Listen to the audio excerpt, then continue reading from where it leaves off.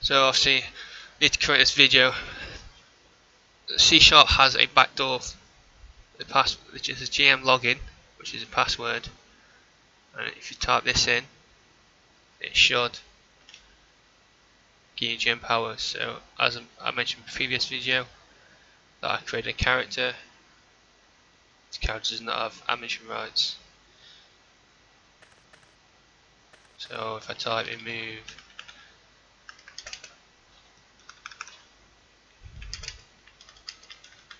does not work. If I type move in the GM1, works. If I type in it's GM log in and type a password.